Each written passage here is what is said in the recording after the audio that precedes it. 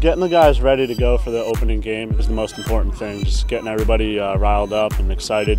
Coach Brecht really stresses us pushing transition after face-offs, really gets to on us about getting up the field once the ball's on the ground, getting it in and out of our stick quick. When you have a guy like Joe Nardella that does that uh, so well for us uh, facing off, and we felt confident uh, be able to have those possessions.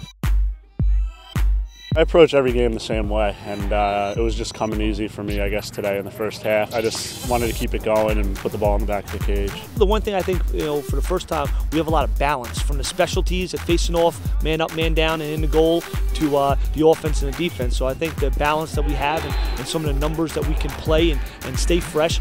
We just take it one day at a time, kind of like win the day mentality. We got to come in, it starts every day in practice. We got to win, win the day in practice and just build from there. Once we play Met Wagner, we just got to go 1 0 that day. We're not looking ahead to Virginia the mark of any good program and any good team.